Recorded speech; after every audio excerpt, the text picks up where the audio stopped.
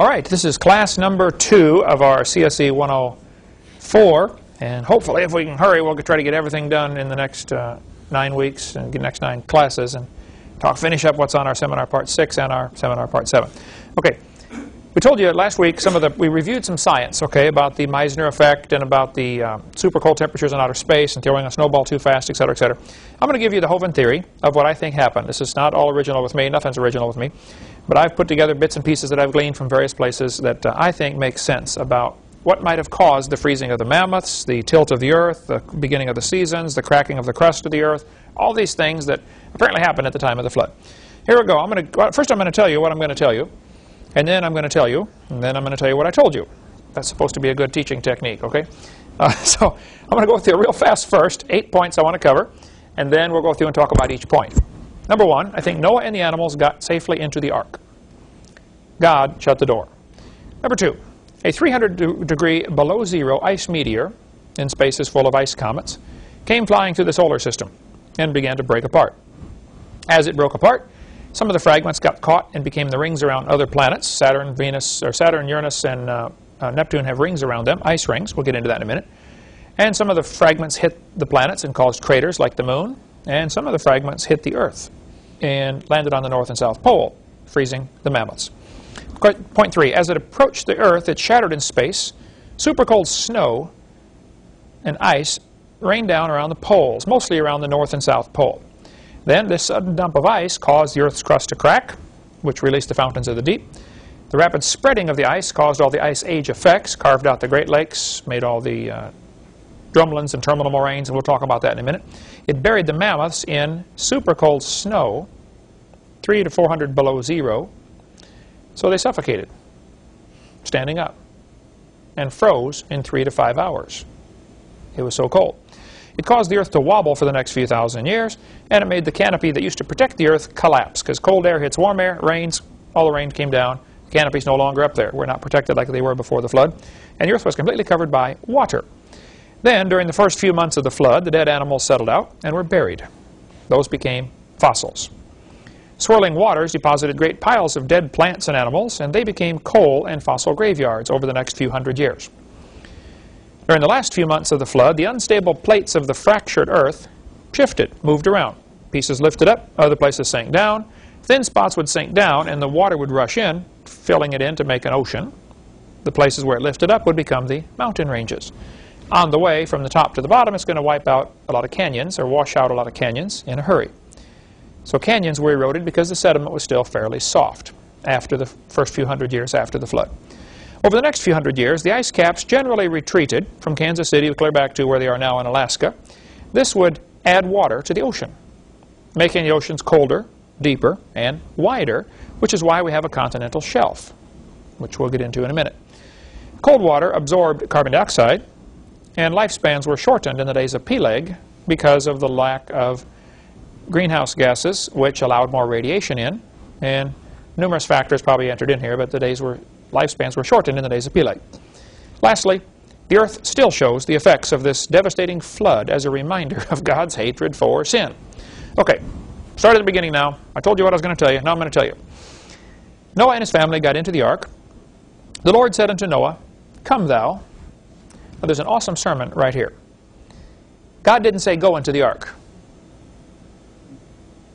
He said, Come into the ark. So where does God have to be in order to say that?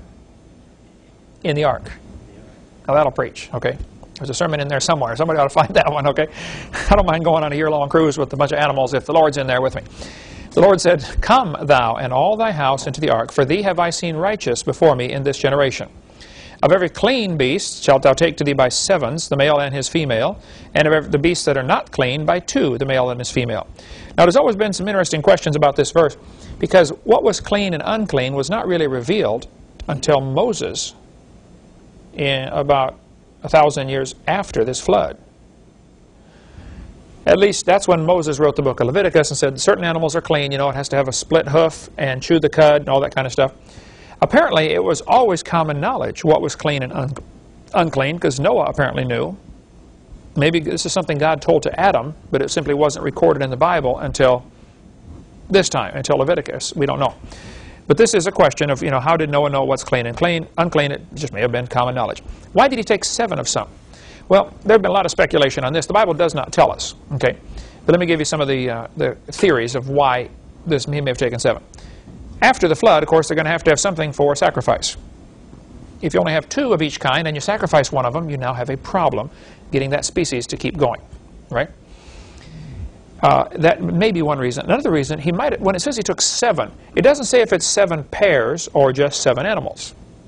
And people have argued, was it seven pairs or just seven animals? I don't know. I don't see where the Bible gives us enough uh, to be clear on that either. It says, take them by sevens, the male and his female. Some people have argued that he took one male and six female, like farmers do with their cows. You have one bull uh, or you know one deer, uh, have six female deer and one uh, male deer. Uh, well, that's typically what happens in nature.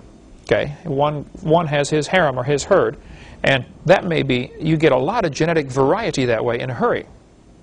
With one bull and six cows, you can get a uh, genetic variation pretty quick, and that may be what he did. Uh, I don't know. The Bible doesn't say, so we'll have to just leave it at that. If you figure it out, let me know, please. Okay. Genesis 8, uh, 15. God said unto Noah, spake unto Noah, Go forth of the ark, thou and thy wife and thy sons, thy sons' wives with thee. This is when they went out of the ark. Uh, so back in Genesis chapter 7, they went in. First God said, Come into the ark, and then he said, Go forth. The Lord was in the ark with them. Or he would have said, Come out of the ark, Noah. No, he said, Go out of the ark, Noah. That'll preach, okay? And they that went in, went in male and female and all flesh, as God had commanded him, and the Lord shut him in. Now, he only had to bring those in whose nostrils was the breath of life, and only those on dry land. No fish, no insects were required to go. Some probably did. You know, how would you keep them out? Hopefully no termites, but um, of course, the ark was coated inside and out with pitch, so maybe it wouldn't have been a problem. The uh, Lord shut him in. Now, this is an interesting. God shut the door. This is a good eternal security verse. If God shuts the door, it won't leak. People say, do you think you're going to heaven no matter what you do? Oh, yeah. It'd be impossible for me to go to hell because God promised, if I, whoso, if you have the Son, you have eternal life. He doesn't say you will get eternal life. He says you have eternal life. So if you could lose it, then you have temporary life. You don't have eternal life. I don't see how you can possibly lose something. If you, if you have eternal life and you lost it, then it wasn't eternal. So you didn't have it. And we can go on all day on that topic. Churches split over, over that question right there, you know, eternal security.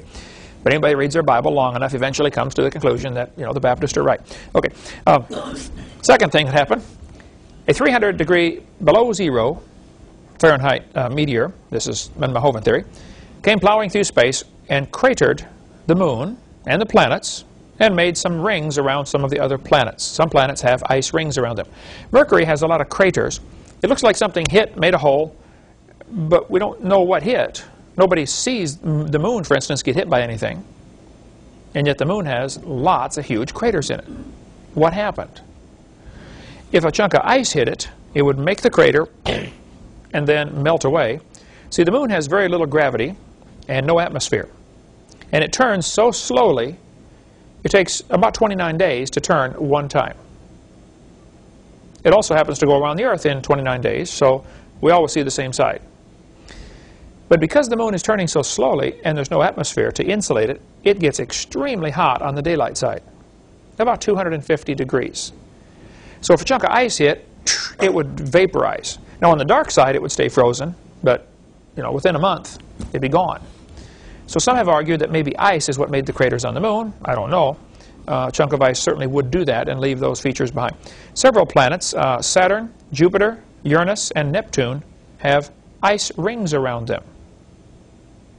Why? Nobody knows where it's from or why it's this way, but they have these rings around it. Saturn's rings, of course, are famous, and you can see them with a telescope from here. You know, we were out the other night looking at Saturn's rings, just unbelievable. But uh, these rings are made of ice and rock, but lots of them are just plain chunks of ice floating around. Where did they come from? One theory is it came from this ice meteor. Okay, point number three.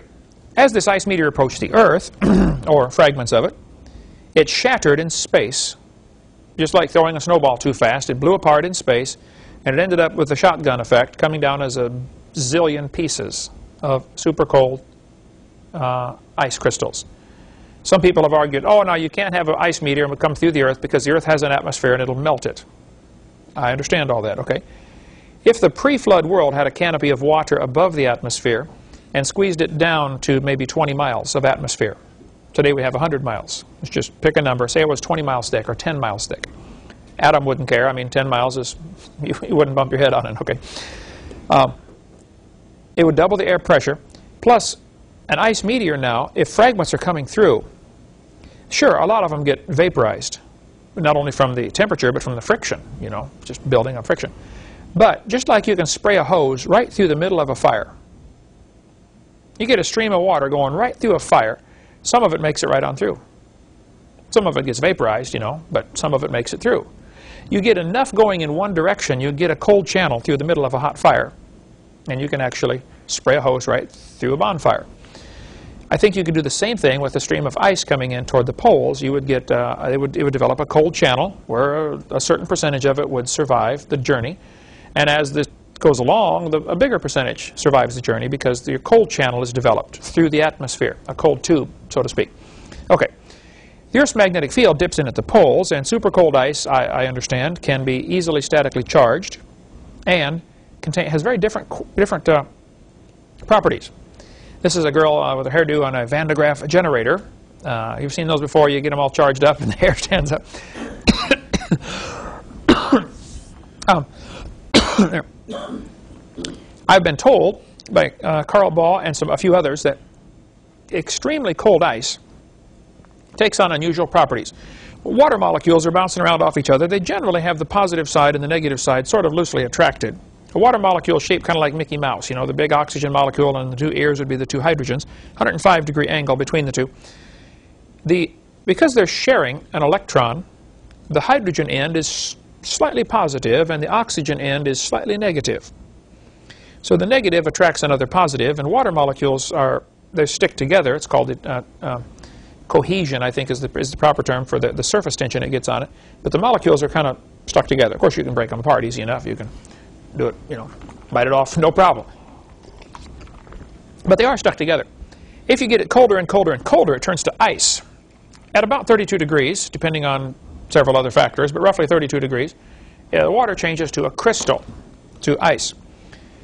As it changes to a crystal, it, it takes on a very different pattern, and it actually swells up about 12%, which is why ice floats on water. And it's a good thing, or else all the fish would die. If ice shrank, almost all materials, as they get colder, they get smaller, which makes them more dense. Water is one of the very few substances that as it when it gets down to 4 degrees centigrade, which is about 37 degrees Fahrenheit, it's getting, it's, it's shrinking and shrinking and shrinking. When you get to about 37 degrees, it starts to swell up. It swells up 12%. Very interesting and very useful because what would happen if the lakes froze and the ice went to the bottom. Then it would freeze again and go to the bottom, and freeze again, and pretty soon the lake would freeze from the bottom up, making it real tough on the fish, right? So God designed water so that it, when it gets to a certain temperature, it swells 12%. Well, if you, what happens if you keep getting it colder and colder and colder and colder, past, way past the freezing point? I have, my understanding is that when you get ice down to negative um, 300 degrees, it starts to line up, the hydrogen molecules line up, and the oxygen molecules line up. It's, it laminates. I've been told that extremely cold temperatures, you can take a piece of ice at, say, 350 below zero, hit it with a hammer, and it behaves like lead. It won't break. It'll just flatten out. It becomes malleable which is gold, for instance, has many interesting qualities. It is malleable, which means you can hit it with a mallet and it'll flatten out. It'll just, it'll just keep spreading and spreading and spreading. You can beat gold extremely thin. And Carl Baugh has a good book called Panorama of Creation, um, where he says the firmament above the atmosphere was from the Hebrew word raqia, which means thin laminated sheets. I don't know if that's true or not, but it's interesting. that if the firmament was indeed a layer of ice, say 6 or 10 inches thick, I don't know, enough to compress the atmosphere, and it would be suspended then by the Earth's magnetic field because it would be magnetic. It becomes metallic. People say, well, what held the canopy up there? Well, I don't know, but possibly the magnetic field of the Earth did. If in, in, the days of Noah the magnetic field was stronger, which we know that it's losing strength now, so we assume it was stronger in the days of Noah, maybe 20 times stronger, you could suspend the Earth's magnetic field, or suspend the, uh, the canopy by the Meissner effect. Okay. As this ice, though, from the meteor comes in, it would tend to be deflected largely around the poles, as this uh, animation shows here. Ice meteor would break apart. Most of it would end up dumped on the poles Why? because of the magnetic field of the Earth. That's going to tend to draw it mostly to the poles, not all of it, but some of it you know, hit everywhere. But a larger percentage would hit at the poles. This would uh, end up with huge ice caps. Now, if we opened a hole in the ceiling here and started pouring in snow, it would start piling up. As the pile gets deeper and deeper and deeper, what happens to the edges? They start sliding out, right? I think that's where the ice uh, age came in. The ice was sliding out from the stuff being piled on the poles. The Bible tells us there was water under the crust of the earth and water above the firmament. So I'm just going to believe it until you can prove it wrong. This uh, article in Discover Magazine 97 tells about a scientist and his theory vindicated. This guy said he saw uh, chunks of ice hitting the atmosphere from one of the satellites. He could tell there were chunks of ice hitting the atmosphere. And they did a bunch of studies on this, and sure enough, they say, yep, it appears that giant chunks of ice as big as this house are hitting the atmosphere all the time. To, uh, now. It could be there are still fragments of ice flying around through space from some catastrophe 40, 400 years ago, and we run into them once in a while. They don't seem to have any effect. Um, you know, now the atmosphere is about 100 miles thick, so they would certainly vaporize in, on, on the way through. Um, just interesting thought that uh, this guy did some studies and it appears to, appears to be correct. So there used to be a canopy of water under the, over the earth and water under the crust of the earth. As that came shooting out to the surface, the earth was totally covered by water during the flood, some liquid, some solid.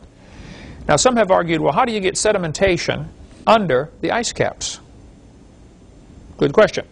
There are layers of sediment under the ice caps. Sedimentation indicates water, sedimentary rock. Well, ice floats on water.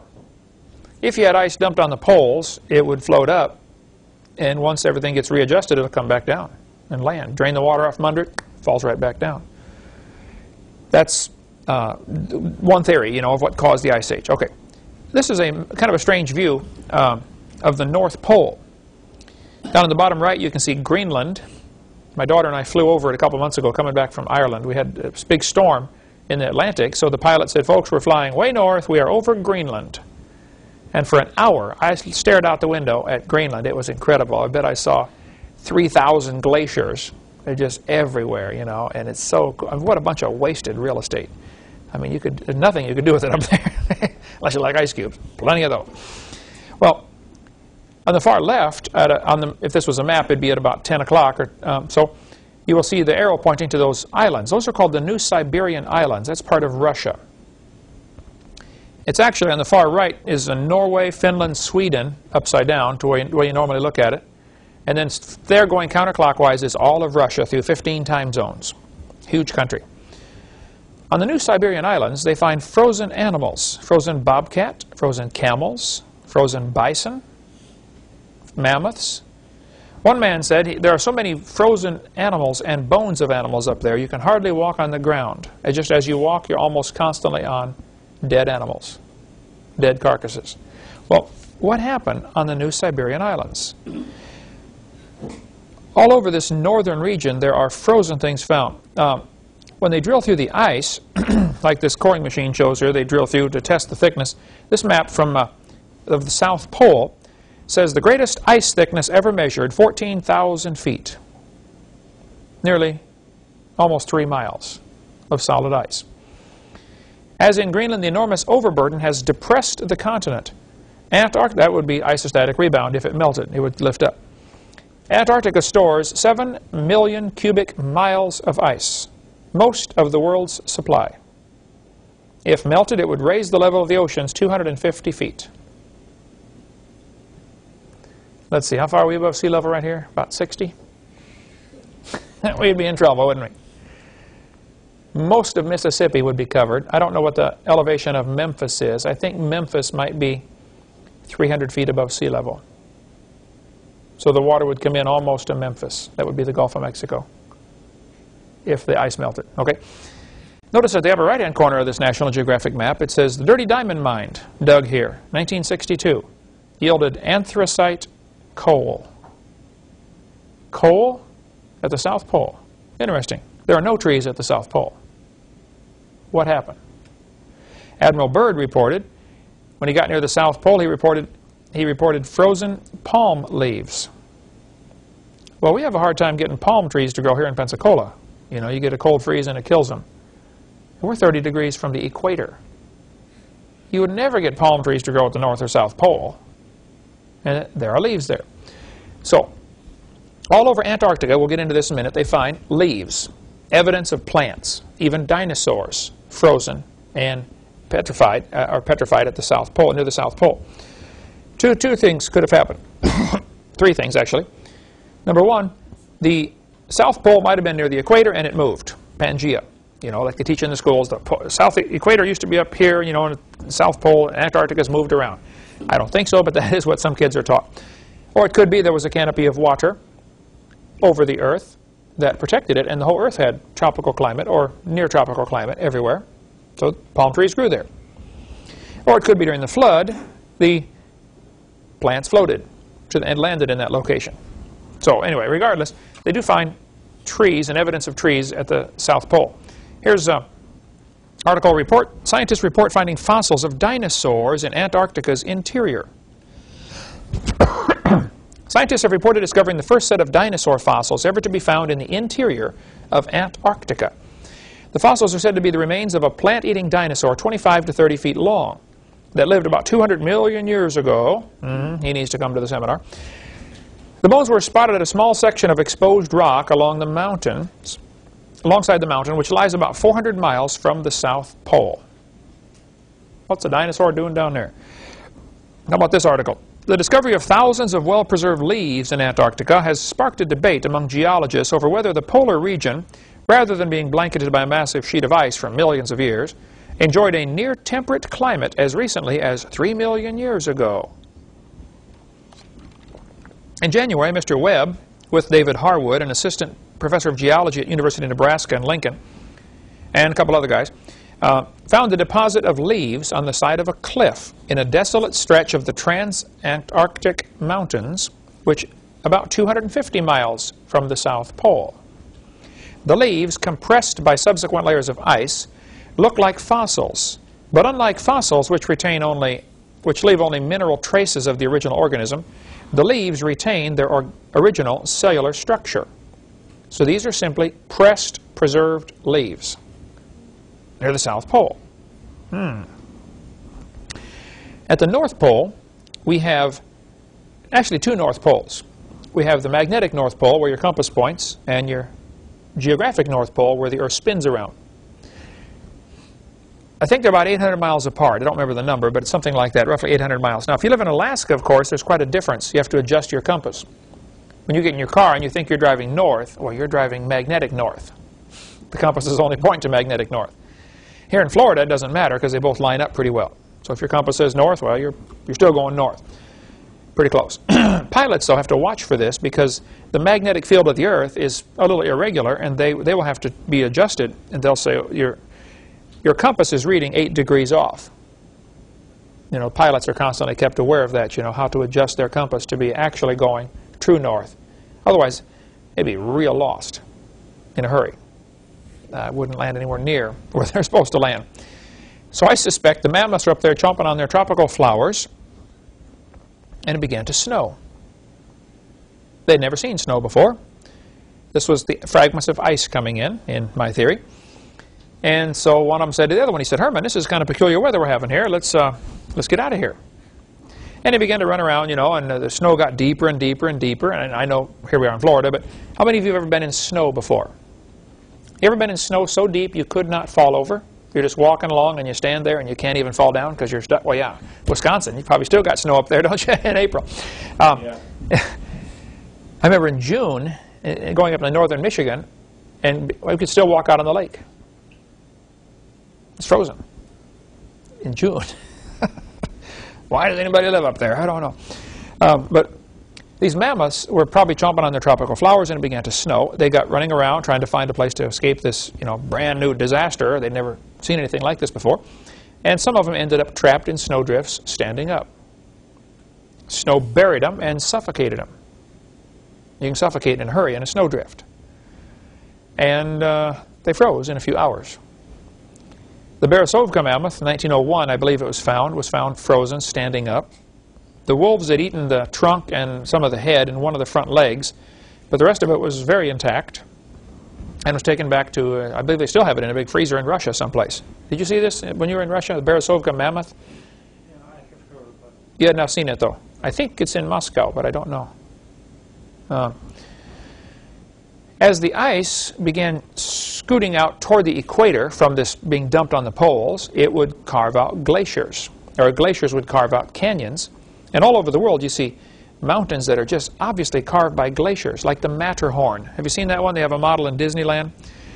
Uh, it's a Swiss, one of the Swiss Alps. The Matterhorn comes up and then goes back out and then goes up to a point. That's what makes it so hard to climb. you got to climb out to get going up again. So very difficult to climb the Matterhorn, they say. Um, this is because glaciers went around it. It was a mountain. Glaciers went around it and carved out that place like this on the Matterhorn. Make a note for me to get a picture of the Matterhorn in here, would you, in six, uh, slide number 158, I believe. Let's see. Yeah, after 158. Um, and a lot of uh, obvious glacial effects are found all over the world. There was an ice age. The question is, when? Okay, I don't think it was millions of years ago. If you go to uh, Ohio, Kelly's Island is not too far from Toledo, Ohio. You can have to take a boat to get out to it. It's in Lake Erie. But you can go out to Kelly's Island, and you go all over Canada and see this feature right here. Glacial grooves, they're called. Scratches in the rock. If you took a great big huge rock the size of this house and dragged it across uh, another big rock, it would leave scratches. Kind of like when you run your brake pads too low on your car, you know, it scratches the grooves in the rotors or in the, in the drum. And this is what you have. These glacial grooves are found all over the world, in the polar regions primarily. These happen to be from Kelly's Island, uh, Ohio. There, those are among many other features that tell us, yes, there was an ice age. These black lines on here show the uh, terminal moraine. Who remembers what a moraine is? Remember what a moraine is? talk about that in here? As the ice is sliding along, it bulldozes in front of it piles of rocks. You might end up with a pile of rocks a half a mile high. Maybe not that high, but hundreds of feet high, okay? It'll pile up these rocks in front, and then the ice melts back. Well, the rocks aren't going to move. They stay there.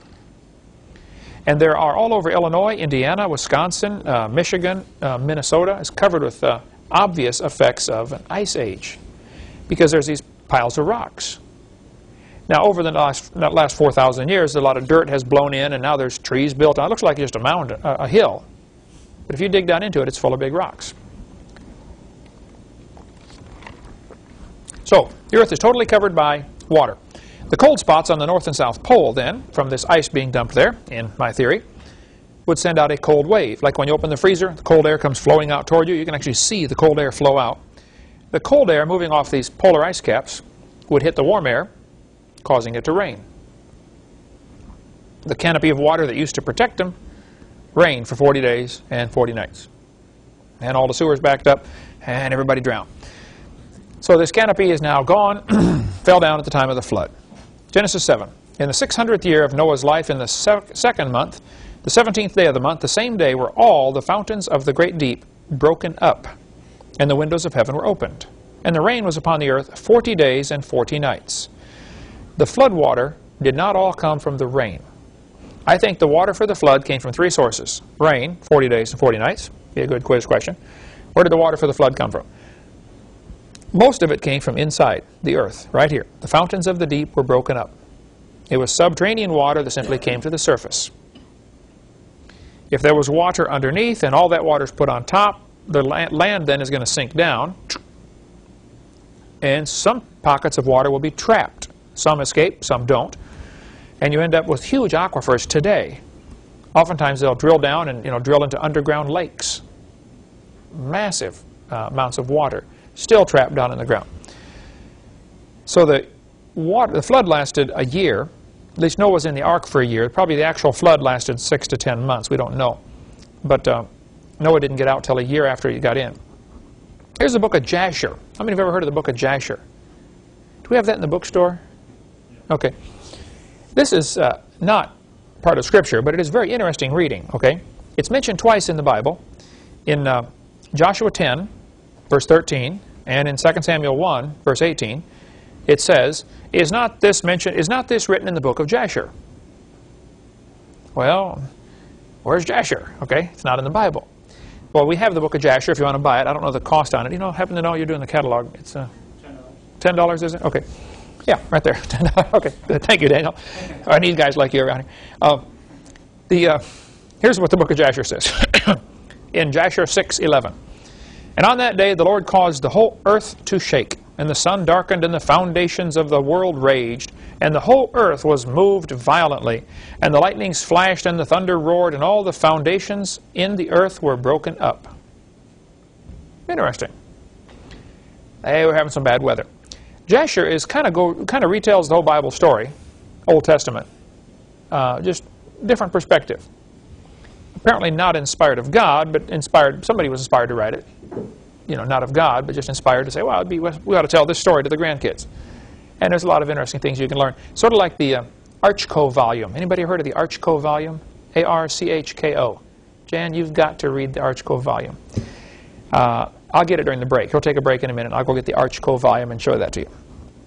Matter of fact, we're on part four, so it's a good time to take a break right here. Take a break. When we come back, we'll uh, talk more about the uh, flood. All right, let's take up here a little bit. We mentioned during the break we would try to get the book of Jasher. Uh, just interesting reading, okay? If you like to read extra biblical history, the Archko volume, which I mentioned, is absolutely incredible. We don't sell it. We probably should.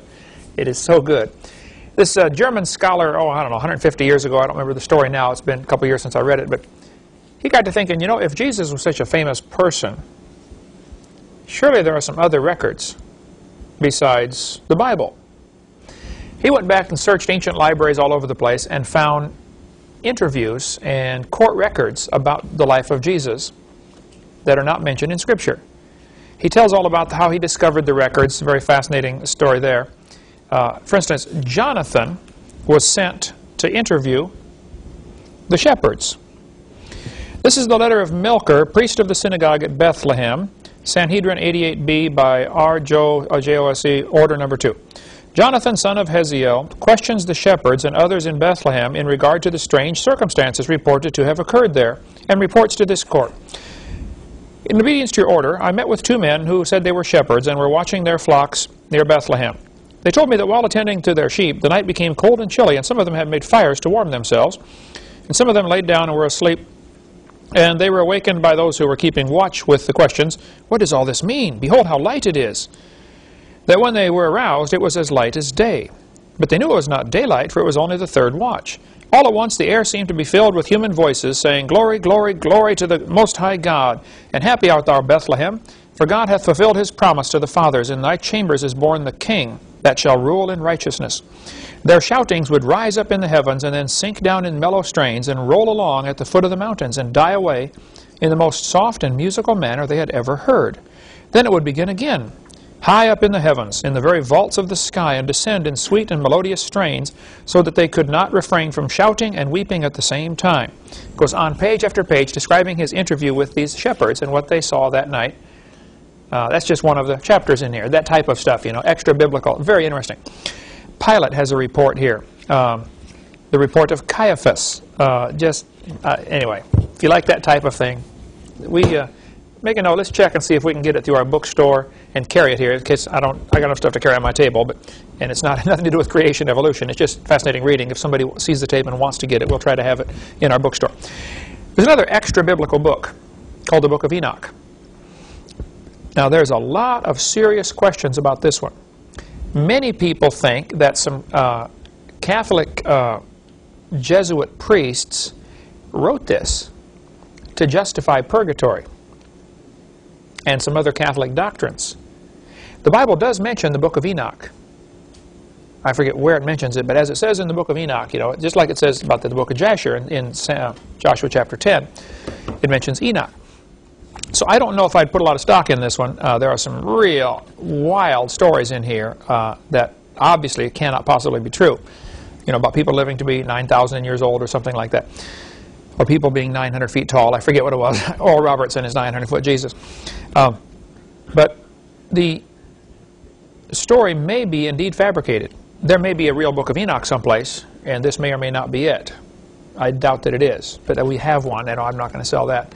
But if you want to take a look at the beginning, uh, you know, where to get one for yourself, and uh, more extra biblical stuff. Okay, let's go back to the Hovind theory. So this ice meteor is coming in, breaks apart, fragments get dumped on the north and south pole. That's why we have leaves there. That's why we have mammoths here, frozen, standing up, food in their stomach. Okay? the dump of ice on the Earth would cause the crust of the Earth to crack like an eggshell. This would release the fountains of the deep, and the ice would spread out, shoving out, dumping it here on the poles, pushing out toward the equator. Eventually it runs out of gas and stops. Uh, you know, glaciers would eventually stop, bulldozing ahead of it a pile of debris uh, which is going to become then a moraine once it melts back. This caused the burial of the mammoths. It caused the earth to wobble for a few thousand years. Remember we talked about a spinning object that is hit by something?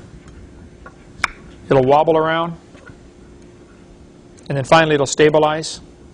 I suspect the earth was more perpendicular to its orbit around the sun as the earth was spinning toward the east it goes.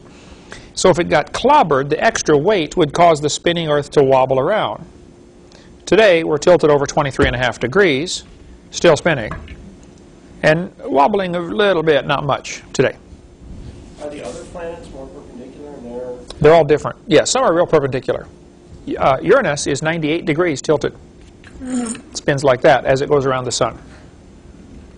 Uh, Venus spins backwards, real slow. I think it's 243 days, if I recall, for one day. Yeah, real slow, something like that. Plus, their year is about the same. It maybe it's their day is longer than their year. I don't know. It's, it's you can look it up in an Earth science book. roll on its axis too?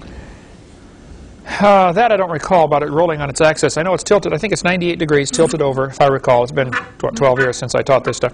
But uh, I know where to find the information uh, as it goes around, like so. Pluto apparently is spinning backwards, Venus is spinning backwards, and Uranus is spinning sideways. Um, the other seven, or other six, are turning uh, all the same way. Okay, so the Earth wobbled around for a few thousand years. The cold air made the canopy that used to protect the Earth collapse, rain down, 40 days, 40 nights of rain, fountains of the deep squirting water up through the cracks, and everybody drowned. Earth was completely covered by water. Bible says in Genesis chapter 7, And the waters prevailed exceedingly upon the earth, and all the high hills that were under the whole heaven were covered. Now, I can't comprehend guys like Hugh Ross and ministries that su would support Hugh Ross, but uh, Hugh Ross says it was a local flood in the days of Noah. How does you can read that verse and say it was a local flood? He says, there's no reason for God to kill everything at the South Pole because there weren't any people there. Why kill the penguins? That's what Hugh Ross says. So Noah lived in the Mesopotamian area, is what Hugh Ross says. Now, how he knows that, I don't know. Mesopotamia is the region around the Black Sea or uh, Iran, Iraq um, today. Um, from Israel probably over to Iraq, Iran, maybe Afghanistan is called the Af uh, Mesopotamian region. We know the ark landed there. That doesn't mean he took off from there. Does it? Let's say the, Noah's in the ark for a year. Let's just assume he was floating for at least six months. How far could you float in six months? Around the world? Twice, probably, right? There's absolutely no telling where he built the ark. There's no telling where the Garden of Eden was. After they got off the ark, they probably saw some rivers and said, wow, that looks like the river Euphrates. So they named it Euphrates. Doesn't mean it's the same river. People came from Hampshire to America and called it New Hampshire. It is not the same place, okay? And York and New York. And there's a lot of places like that here that are named after what reminded somebody of something else. Yeah, England and New England. There you go. Sure. So uh, it'd be silly to say, well, the Garden of Eden had to be over there in Baghdad because that's where the river Euphrates is. Oh, come on, think about it. Okay, it does not have that. Does not mean that's where it was. The Garden of Eden is probably under 500 feet of mud someplace right now, buried in solid rock underneath Pensacola, Florida. Who knows? it could be anywhere. They landed right here. We have no idea where he took off from. But when the Bible says the earth, the water was above the mountains, all the high hills under the whole heaven were covered. Now, it doesn't mention mountains here. It says high hills. Later on, toward the end of the flood, it mentions mountains. Apparently, when God first made the earth, there weren't any giant mountains. The earth was smoother. Now, if you shrank the earth down to this size, 12 inches, all of the water in the oceans would be about that thick. I don't remember the number now, uh, but it would fill two tablespoons. Not even, it would not even fill two tablespoons of, of, of all the oceans. It'd just be a thin coating, a little thicker than the paint on this globe. The crust of the Earth, say a 20-mile crust on an 8,000-mile Earth, you can figure it up, is not much at all. Very, very thin crust compared to the Earth at this, this perspective. Okay. Pushing the mountains down and raising the bottom of the oceans up evens things out, and there's enough water to cover the Earth about a mile and a half deep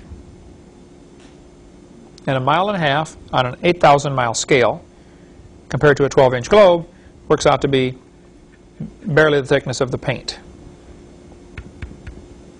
Certainly not even, probably about the thickness of a piece of paper maybe uh, on this globe. When they, on these globes they put the mountains where you can feel the Rocky Mountains. Yeah, right. If you shrank it down to this size, you couldn't find Mount Everest with a good magnifying glass. it just, you wouldn't notice it at all. It's nothing. Uh, so the high hills. Now Hugh, Hugh Ross says it was just a local flood in Mesopotamia. Well, the reason he believes that is because he thinks the geologic column represents millions of years of Earth's history. So he has to protect the geologic column. Because if it was a, a worldwide flood, wouldn't that mess up all the geologic column? Well, yeah, so he don't want that. That's why he says it was a local flood in the days of Noah. And he's simply wrong. Hugh, you're wrong, okay? Get right with God on that topic. Okay. If the Earth were reduced to a 12-inch globe like this one, all the waters in the oceans would not even fill one tablespoon. I knew I figured it out, the data here. Uh, today, the oceans average 12,000 feet deep. If the Earth were smooth, the water would be 8,000 feet deep, one and a half miles everywhere.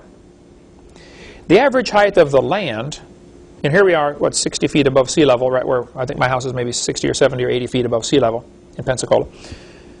The average height, if you took all of the mountains, Rock, Him Himalaya mountains, Rocky mountains, all of them, if you averaged out all the land above sea level, it'd be 2,600 feet.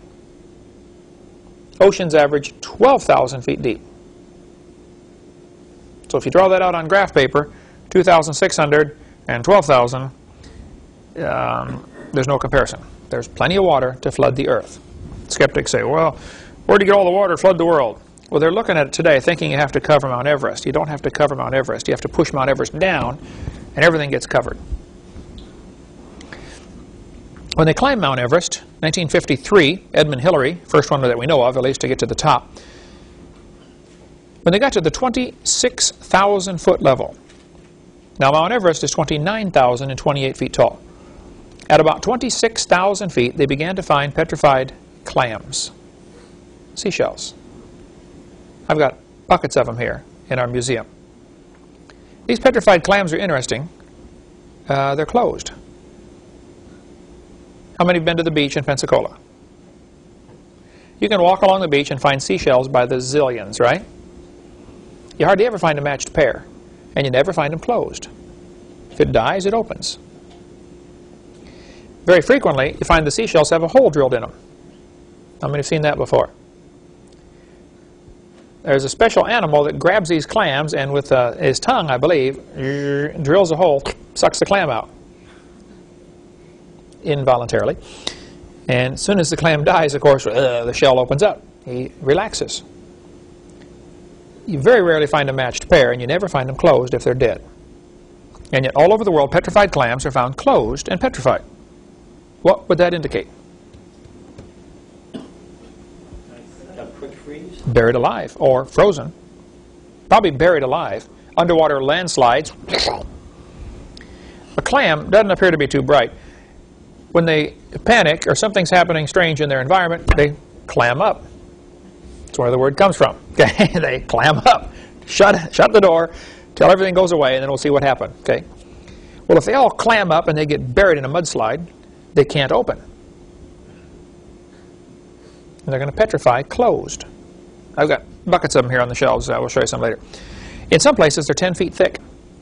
A guy from Opp, Alabama, up the road here, what? How far is Opp? 100, 120 miles, maybe 150, whatever. He called me one day and said, Brother Hovind, do you need some more petrified clams for your museum? I said, yeah. Why? Do you have some? He said, yeah, they're four feet thick in my backyard. Every time he rototills for his garden, he brings up thousands of petrified clams. We were in Texas in Glen Rose, uh, seeing the footprints there, walking up and down the valleys and the hills around Glen Rose, Texas, and there are huge petrified clams closed in the middle of Texas near Dallas.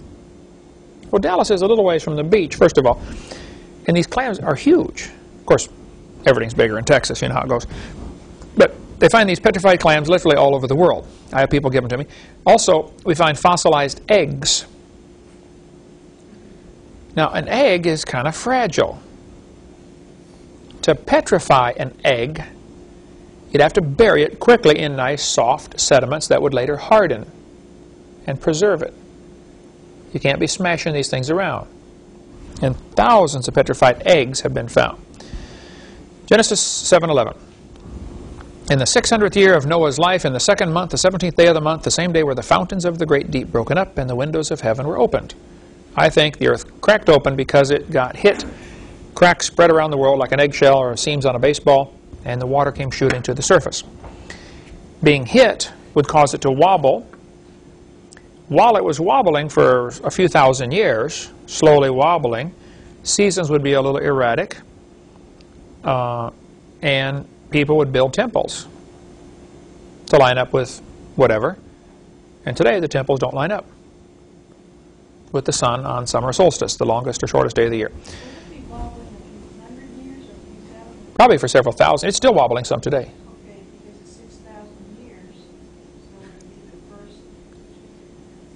Well, if it, if it got hit at the time of the flood, 4,400 years ago, and it wobbled for, say, 2,000 years, slowly the wobble would stabilize, like a gyroscope will slowly kind of stabilize. What would the frequency of the wobble be?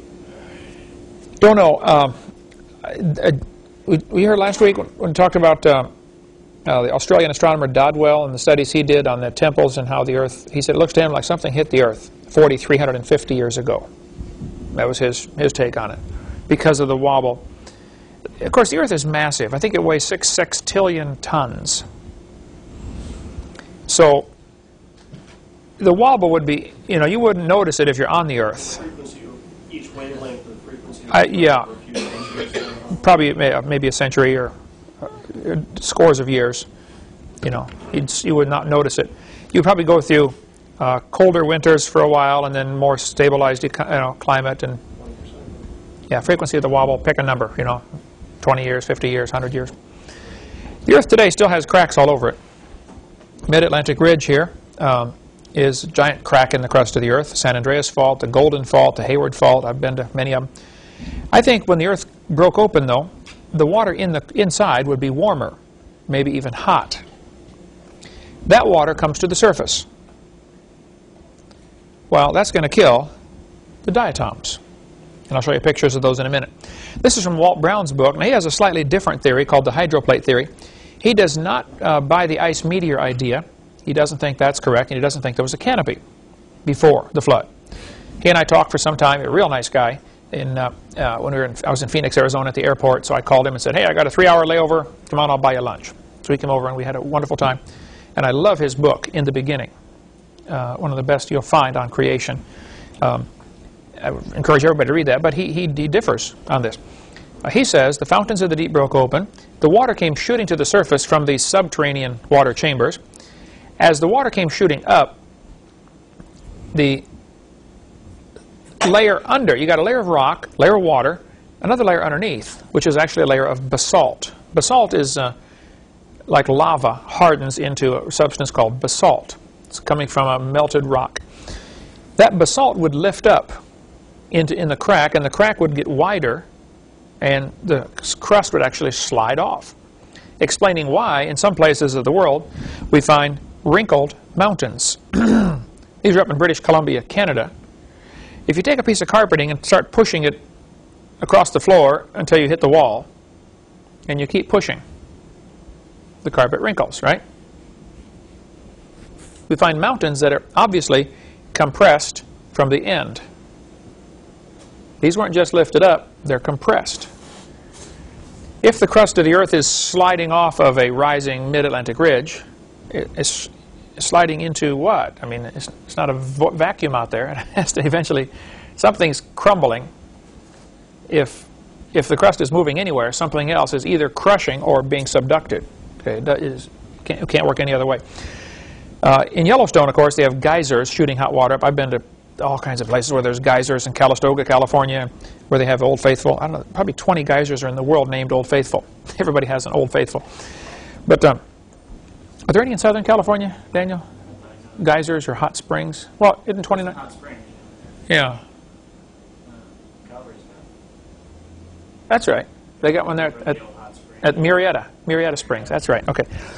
Um, that was cool. Wasn't it? At the top, it's really like 120 degrees. If you want to get in that spa, and as it goes down, it gets a little cooler. it was pretty slick. Oh, Chuck Smith did that. Anyway, these uh, hot water coming out of the ground would kill the diatoms. Now, diatoms are gorgeous under the microscope, but you, you can't see them without a microscope. Okay, real tiny critters that live in the water. Their body is made of glass, silica. They are so tiny, when they die, they fall to the bottom, and you don't even notice them. The estimates are it may take about a thousand years to get one inch of dead diatoms at the bottom of the ocean. They die, fall to the bottom, the kids die, fall to the bottom, the grandkids die and fall to the bottom. Um, and you build up a layer of dead diatoms. Hey, Jeff, run out to building four. When you first walk in the door, there are two boxes of diatomaceous earth. Bring that in, would you? Uh, just grab one of them. One of them's open. You know what I'm talking about? It's a pretty good-sized box. Um, By the bathroom out there? Well, yeah, right. Five feet to the. From the Jess, uh, uh, Veronica's cleaning the building out. Walk in the door, go straight ahead, five feet. You'll see it. Okay. So grab one of those, would you? Diatomaceous earth, you can buy it at the hardware store. We'll bring a box of it in here. Is used for all sorts of things. Uh, it's real cheap. It is so tiny. Uh, you can spread this stuff around your house, and bugs breathe it into their skin and kills them. It's a perfectly natural insecticide. I don't know of any bugs that can survive. There may be some, but I don't know of any that can survive diatomaceous earth. It's like extremely fine powder. When you feel this stuff, you just think it's like talcum powder or baby powder or something like that. You know, it's just real fine. It's actually these little tiny crystals, if you could see them under the microscope. And they're, they're really gorgeous, all different shapes, you know, cubes and squares and diamonds and triangles. And diatomaceous earth is used for swimming pool filters. It's used for detergents uh, to clean your clothes, for fertilizers, insulation, soundproofing, paper finishes. They will mix diatomaceous earth in with the uh, slurry of wood chips and makes the paper have a slicker surface. When they make paper, diatomaceous earth in there. Soundproofing, um, oil dry, paint thickeners, the uh, uh, polishes, cat litter, you know, the white crystals you put out for the kitty, that's diatomaceous earth. Um, paint removers, and scores of other things. In Lompoc, California, so you, how far did you live from Lompoc? 35, 40 minutes, yeah. Right on the San Andreas Fault. Yep. Welcome to Florida. Glad you're here. We get hurricanes here, but you can see them coming. The largest diatomaceous earth quarry in the world is in Lompoc, California. My understanding is they've been digging it there for quite a while. They think it may be 1,500 feet thick of this solid diatomaceous earth, which uh, Jeff will bring in here if he can find it. Um, you find one? Oh, look at that. Oh, hey, set that right up here. No, you don't need to bring both of them. Well, look at here. Well, I'll bring the open one here. Yeah, we'll let the guys see what diatomaceous earth looks like. How much was this at the hardware store? I forget. Uh, pool time. This is used for pool filters, but diatomaceous earth, get some out here. You can put it around your house uh, for kill the bugs. There, Nick, pass that around. Let everybody feel some of that.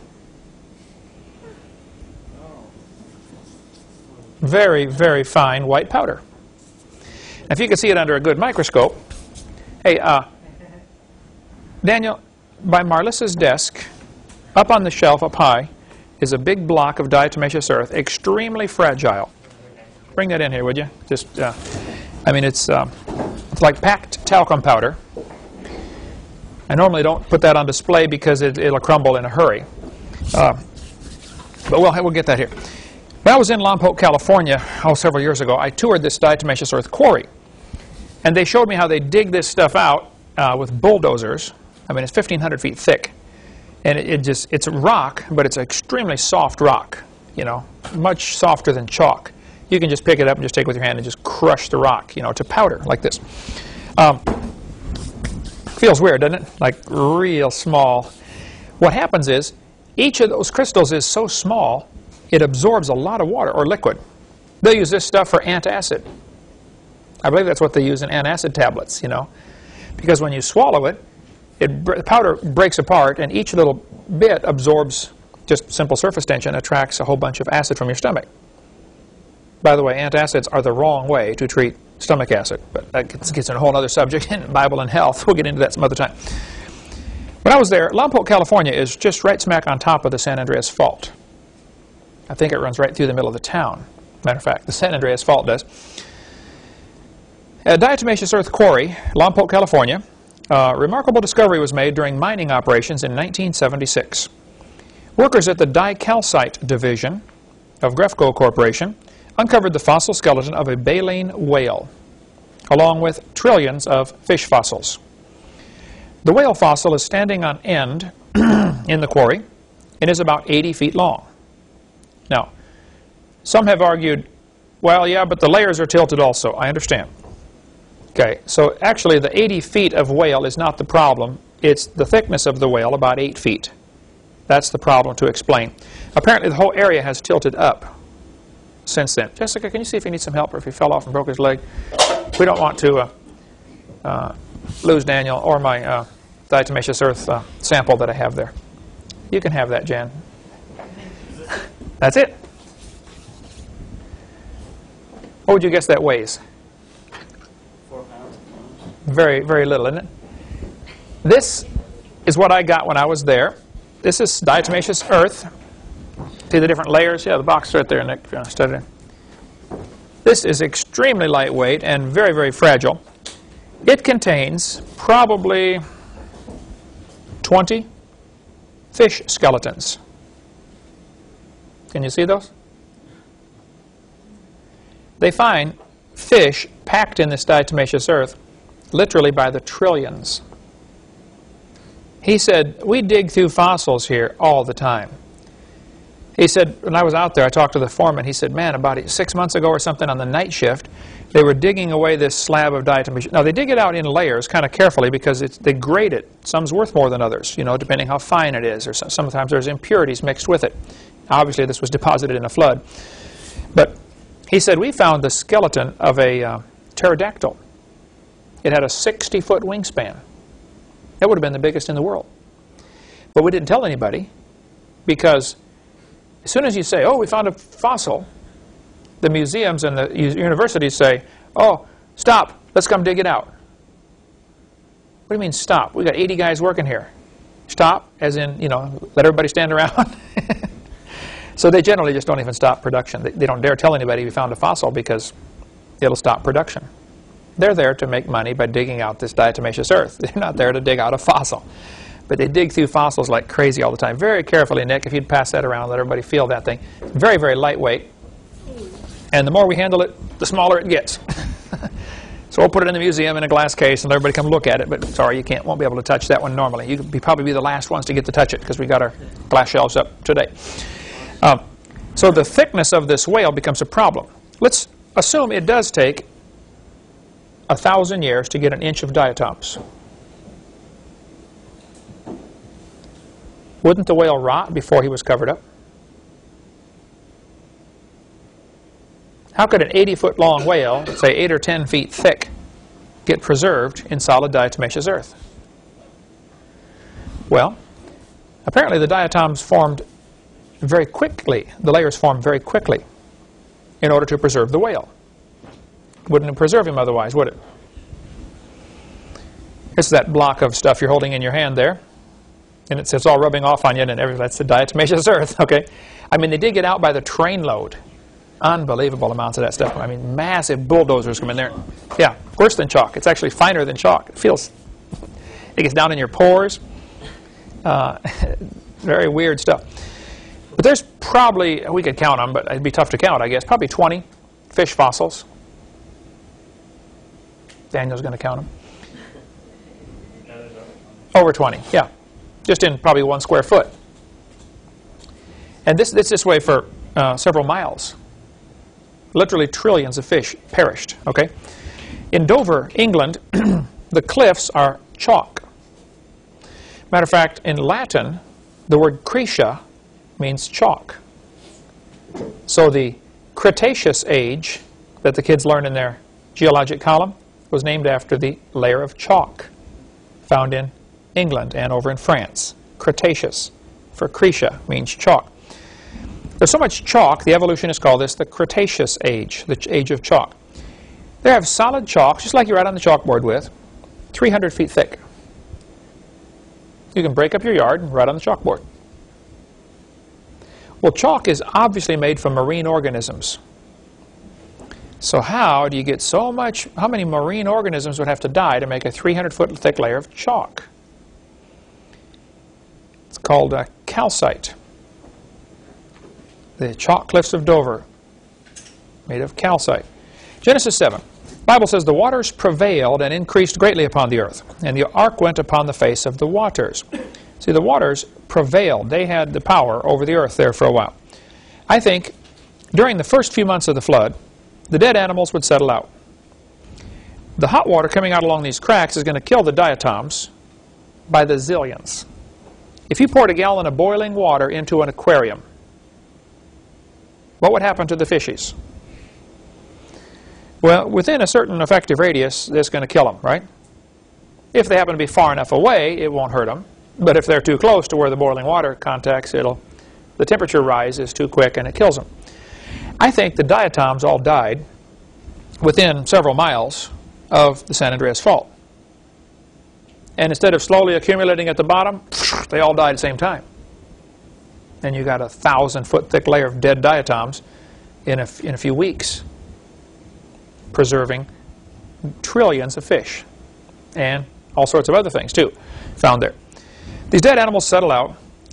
The swirling waters, though, deposit piles. Uh, you can get uh, water swirling in a pond, and uh, it's really neat the way it separates things on the bottom of the pond. You get gravels to the middle, and then sands. It just it makes concentric rings. Coal would form then, and fossil graveyards over the next few hundred years. Moving water automatically sorts particles based upon their density, based upon a lot of different things, actually. Have you seen those things, the two pieces of glass with different color sand inside? You flip it over, and it, you got those, right? It's your place, right? Makes all sorts of pretty patterns. Jessica, put on the list to, uh, let's get three or four of those for the museum for the kids to play with, small ones. You can buy those at the mall. Where? No, two pieces of glass with sand and water in between, different color sand. You flip it over, and when it comes down, it makes these different patterns. It automatically separates. Why does it do that? Well, that's just a phenomena of particles falling through water. The denser and lighter are sorted. So some people look at the geologic column of the Earth and say, well, this took millions of years for each layer. No, this took one flood for all of the layers. It's a matter of looking at it from God's perspective. Underwater landslides can happen. They're called a turbidity current. They do enormous amounts of damage. Scientists are really shocked at how far water, mud can slide underwater. There was an underwater landslide uh, that cut the transatlantic cable. The mudslide was going 70 miles an hour underwater. Fastest sub, probably 30, 35 miles an hour. 70 miles an hour. Cut off the transatlantic cable. Okay, swirling waters are going to deposit animals in fossil graveyards. And we'll quit here in a second. The uh, animals, as they float around for a year or six months, would rot. You'd get huge eddies of swirling, rotting carcasses, uh, trees, uh, grass, mixture of everything in this muddy water in the flood. Now, it wouldn't be all turbulent all the time, every square inch of the earth, okay? There'd be, I'm sure there'd be, like, there's probably storms going on right now on the earth. It's not affecting us, is it? There's probably typhoons and hurricanes hitting someplace right now. Doesn't affect us. And when one hits us, it doesn't affect the folks in China. So people say, well, if, if the flood was so turbulent, how did Noah survive? It'd break the boat apart. Well, duh. Just because it's turbulent one place doesn't mean it's turbulent every place, okay? Um, as these animals rot, they're going to become what's called disarticulated. The bones are going to come loose from each other. And they're going to end up buried in tangled up messes. Notice the dinosaur backbone here. There's no legs, no ribs, no head, just the backbone. And, importantly, no teeth marks. Look at the one above the guy's head here. You see the backbone is bent backwards?